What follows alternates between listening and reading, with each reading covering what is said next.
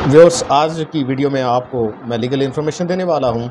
कि Pakistan penal code की दफ़ा तीन सौ सतर अननेचुरल ऑफेंसेस के हवाले में से और इसमें होने वाली अमेंडमेंट्स और इसमें इंसर्ट होने वाली दफ़ात के हवाले से। तो व्यूअर्स, इंसानी इखलाक और मजहबी तकादों के के लिए ज़रूरी है कि जिनसी मुबाशरत के लिए सिर्फ़ वही तरीका इस्तेमाल किया जाए जो सिलसिला तोलीद के लिए वक़फ़ है।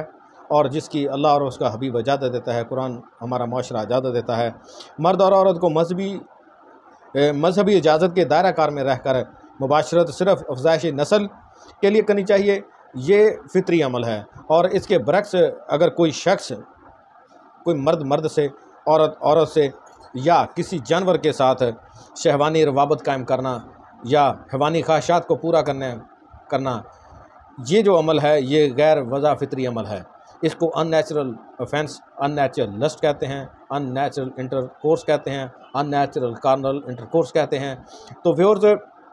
आज इस वीडियो में मैं आपको ए, पाकिस्तान पिलल कोड अठारह सौ साठ की दफ़ा तीन सौ सतर अननेचुरल ऑफेंसेस में इंसर्ट होने वाली नई दफ़ा तीन सौ सतर एफ़ के बारे में इंफॉर्मेशन दूँगा और सबसे पहले इसकी तारीफ़ पढ़ते हैं, इसकी लैंग्वेज पढ़ते हैं, इसकी लैंग्वेज के बारे में जानते हैं कि लैंग्वेज इसकी क्या बताती है, कि इसका जुर्म कैसे कॉन्स्टिट्यूट होता है, कैसे कमिट होता है, उसके मेन इंग्रेडिएंट्स क्या हैं। तो व्योर्स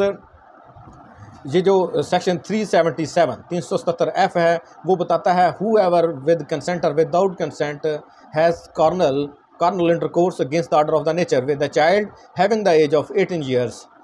यानी कोई भी शख्स रजामंदी से या बग़ैर रजामंदी के, यानी जबरन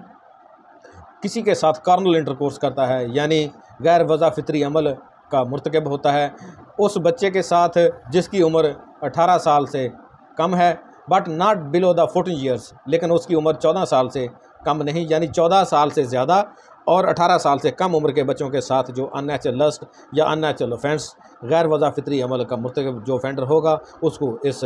दफ़ा किताबें सज़ा दी जाएगी। इस दफ़ा किताबें उस पर ट्रायल किया जाएगा। तो इसकी सज़ा के बारे में ये सेक्शन बताता है कि shall be punished with imprisonment for life उसको उम्र कैद की सज़ा दी जाएगी। Or imprisonment of I the description which shall not be less than five years या उसको ऐसी कैद की सज़ा दी जाएगी जो कम से कम पाँच साल से कम ना हो। And a minimum fine of fifty thousand rupees यानी और कैद की सदा के साथ साथ उसको पचास हज़ार तक का जुर्माना जो वो वही किया जा सकता है। तो व्योर्स अननेचुरल लस्ट इंतहाई कभी, इंतहाई गुना गुनागार इंतहाई गुनाह का अमल है, जिससे ना तो हमारा माशरा सहराता है और ना हमारे दीन में, ना और अल्लाह के बताए हुए अहकाम में इसकी कोई जगह है। तो इससे, ऐसे जराइम से बचने के लिए स्टेट ने इंतहाई सख्त सज़ा जो है, वो मसाली सज़ाएँ जो हैं, वो इस तीन सौ सत्तर की दफ़ा में इंसर्ट की हैं। और इसका मकसद सिर्फ़ नाबालग बच्चे जो हैं छोटी उम्र के बच्चे जो हैं, जो समझ बूझ मुकम्मल नहीं रखते या जिनको जल्द बहलाया, फिसलाया जा सकता है और उनको जल्द डिट्रैक किया जा सकता है और अननेचुरल ऑफेंस के लिए, उस, उनको बचाने के लिए, उनकी प्रोटेक्शन के लिए, उनकी हिफाजत के लिए ये दफ़ा जो है इंसर्ट की गई हैं और इसमें मसाली सज़ाएँ इसीलिए रखी गई हैं, सख्त से सख्त सज़ाएँ इसीलिए रखी गई हैं कि कोई भी मुलम है या ऑफेंडर है वो ऐसे गैर वज़ा फितरी अमल के बारे में सोचे भी ना और अपनी हवानी ख्वाहिशात को पूरा करने के लिए गैर वज़ा फितरी अमल पर, अमल पैरा ना हो। वो अननेचुरल फेंस के लिए गैर वज़ा फितरी अमल, यानी कॉर्नल इंटरकोर्स के पास भी ना जाए। और जो इसकी ना तो हमारा माशा इजाज़त देता है, ना हमारा दीन इजाज़त देता है, ना हमारा कानून कानून फितरत इजाज़त देता है। ना अल्लाह तबारक ताली के अहकाम इस चीज़ की इजाज़त देते हैं कि आप गैर वज़ा फितरी अमल करें, जबकि इसके हवाले से वज़ा फितरी अमल जो है, वो एक वसी टॉपिक है, एक बहुत वसी अनवान है, जिस पर मज़ीद बहस करने की भी ज़रूरत है, बहस होगी भी। तो आज की वीडियो में व्योर्स आपको गैर वज़ा फितरी अमल पाकिस्तान पिनल कोड की दफ़ा तीन सौ सतर एफ़ के बारे में बताने का मकसद ये है कि हमारे माशरे में बढ़ते हुए अननेचुरल लस्ट के ऑफेंसेस जो हैं उनको कंट्रोल किया जाए, हमारे माशरे की प्रोटेक्शन की जाए, हमारे घरों में बसने वाले छोटे छोटे हमारे मासूम बच्चे जो हैं, जिनको गैर फितरी अमल के बाद बाज़ का कत्ल भी कर दिया जाता है और कूड़ा, दान या ढेरों पर फेंक दिया जाता है। इससे बढ़कर तकलीफ़ दे अमल हमारे माशरे में या उन बच्चों के वालदेन के लिए और क्या हो सकता है? जिन्होंने कोई ऐसा बदनामी का, जो लाइफ टाइम बदनामी है यानी कोई शख्स किसी के बच्चे के साथ गैर फितरी अमल जमा करता है हैवानी शहवत पूरी करने के लिए अपनी जहनी अख्तलात या अपनी जो मेंटल बैड अप्रोच है, उसको पूरा करने के लिए कोमल करता है और उनके, उस बच्चे के वालदेन हैं, उस विक्टम के वालदेन जो हैं, उस बच्चे को कूड़ा दान से उठाएँ या किसी ऐसी वीरानी जगह से उठाकर उसको बरी करें, उसको दफनाएँ तो इससे बढ़कर और जो है परेशानी और नदामत का क्या अमल हो सकता है? इसलिए हमें अपने माशरे को एक पॉजिटिव डिगर पर चलाना है, एक सही ट्रैक पर चलाना है ताकि हमारा माशरा जो है वो परवान चल सके और बच्चों के हक हकूक़ जो हैं, जो बच्चों के राइट्स हैं राइट्स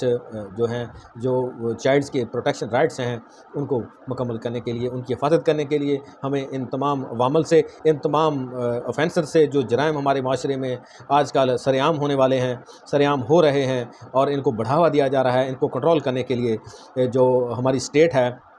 उसने इसमें मसाली जो सज़ाएँ रखी हैं, उसको कंट्रोल करने के लिए जो मसाले सज़ाएँ दी जा रही हैं तो तो व्यूअर्स आज की वीडियो में मैंने आपको लीगल इन्फॉर्मेशन दी है कि 18 साल से कम और 14 साल से ज़्यादा उम्र के बच्चों के साथ अगर कोई गैर वज़ा फितरी, अमल,